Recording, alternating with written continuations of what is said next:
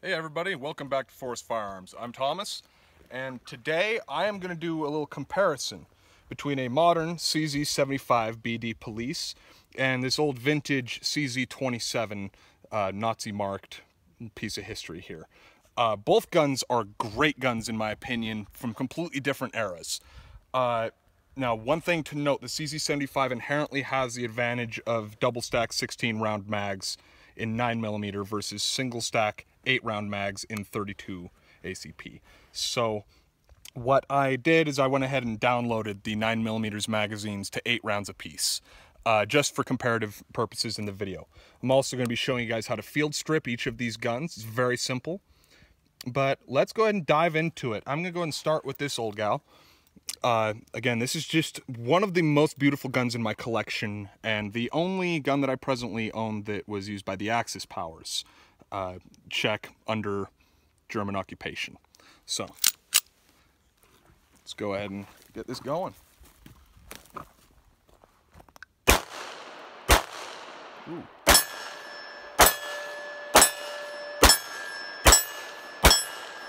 Alrighty, so I had a couple of misses and I had an extra round in there. I don't know if I overstuffed the mag or if I miscounted my shots, but we'll just go ahead and power through that. Put this mag back in the, this round back in the box here. And let's pull out the CZ75 here. Again, I've got it downloaded to eight rounds. It does hold 16. Um, yeah, this this gun, I've not done a lot of videos with this this firearm here. It has no safety, so that is something you got to be mindful of. It has a decocker, I'm going to go ahead and take the first shot decocked, as I just showed you. Um, also, this has an advantage over a couple of the other CZ75 models as it has a uh, round in the chamber indicator here, and the front and rear here are checkered. That is not so on your standard CZ75 or CZ75B. But uh, just a couple of advantages for police use. As I said, this is the police model of this gun uh, at least at one point, maybe even today, the most used pistol among police around the world. Not in the US specifically. But let's go ahead and give this guy a couple shots.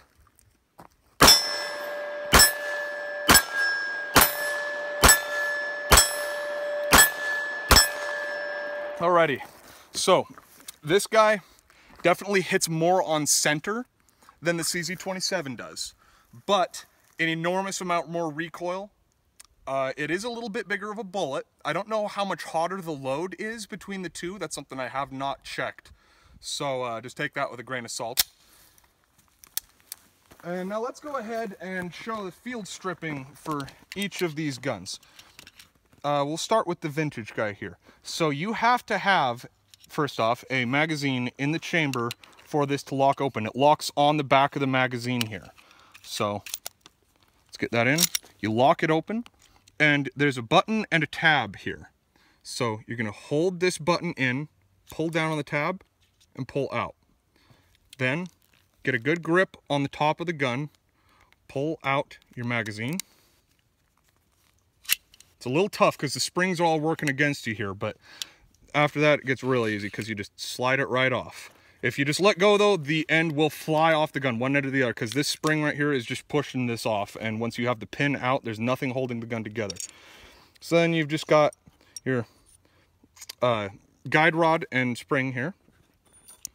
And this little guy here just more or less holds the guide rod and spring, spring in place. It sits on these grooves, as you can see.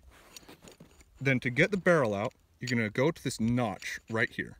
You rotate and then pull. But I did actually forget a step. There is this, this little guy here. You turn it until it fits in the grooves and you pull that out.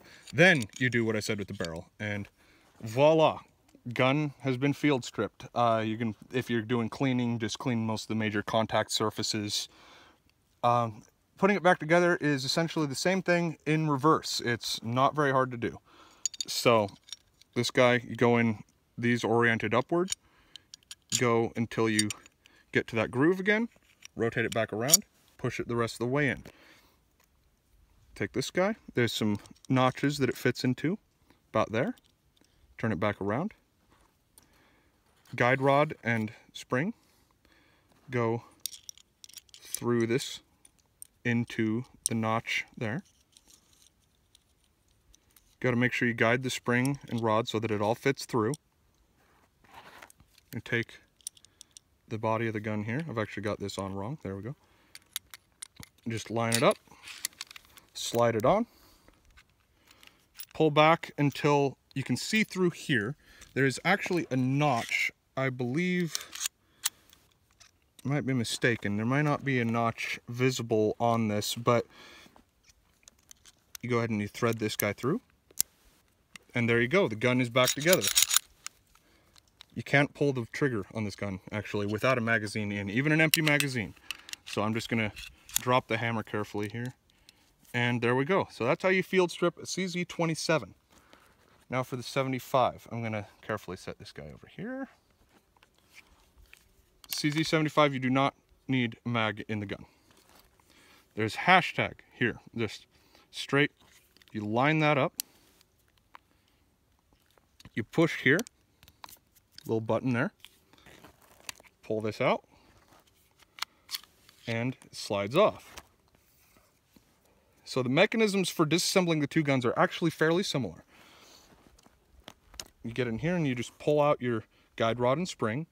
Uh, I believe I need to clean this unless the guide rod is fused to the spring somehow, but uh, it looks like it may be a little gummed up. And then the barrel on this just picks up and floats out. Again, you got notches that fit in the grooves in here. And again, reassembly, simple as can be. You just put this back in place, take your spring, put it back in. It sets against here. One thing you got to be careful of, there is a moving part in here that can foul up this guy right here. I've, I've had it hang up on this before. I just got to be mindful of that. The rails on a CZ75 actually fit inside the gun rather than outside. So you got to line these guys up, put it on, go back until you hit that notch, take your, your little guy here, and just push it back in. But you have to have that lined up or it will not stay. And again, there we go. So that's your field stripping for both guns. And I've got two more eight round mags loaded for each gun. So I'm gonna go ahead and go through those again. I'm gonna just stick with the CZ75 here for a moment.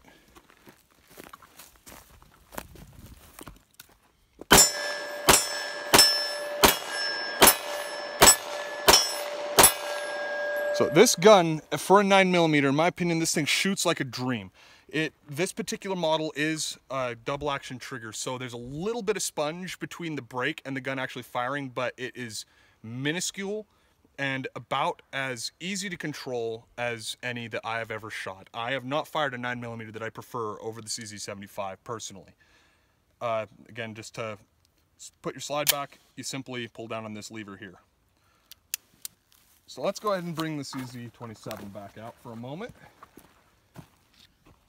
Now this guy, as I've showed you, the slide does lock open on an empty mag, but as soon as you pull the mag out, the slide goes back forward.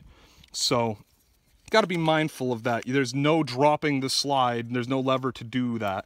You just put this back in, cock it again, and you're ready to fire. This gun does have a safety, but the safety only works on this if I hold it down. I'm guessing that there's a piece of metal that wore out inside, but to disengage the safety, you just push that. So, back in the same position here.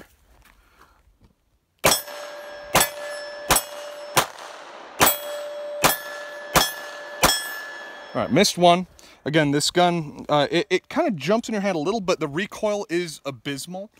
Um, I'm not as familiar with the sights on this. It doesn't seem like it hits dead center. I believe you may have to aim a little low and to the right, but a lot of that is just knowing your specific gun. So, something I have to work on with this guy. Uh, I'm more than proficient with the CZ75. I've owned that gun the longest of any of my firearms, and I love them both, but if I was in a combat situation, I would absolutely prefer having the CZ75 for a number of reasons. One, the controls are more refined. You got a, first off, fairly cheap bullet. 9mm is extremely cheap and easy to come by, but again, not the most powerful bullet in the world. I would personally prefer using a larger bullet like 45 for a defense situation, but 9mm will do it and you got high capacity, again, like I said, the controls are more refined. But for its time, the CZ27 was an excellent firearm. And for collectors, it's, uh, in my opinion, a must have if you're looking at German occupation weapons. So I hope you guys enjoyed. Catch you later. This is Forest Firearms.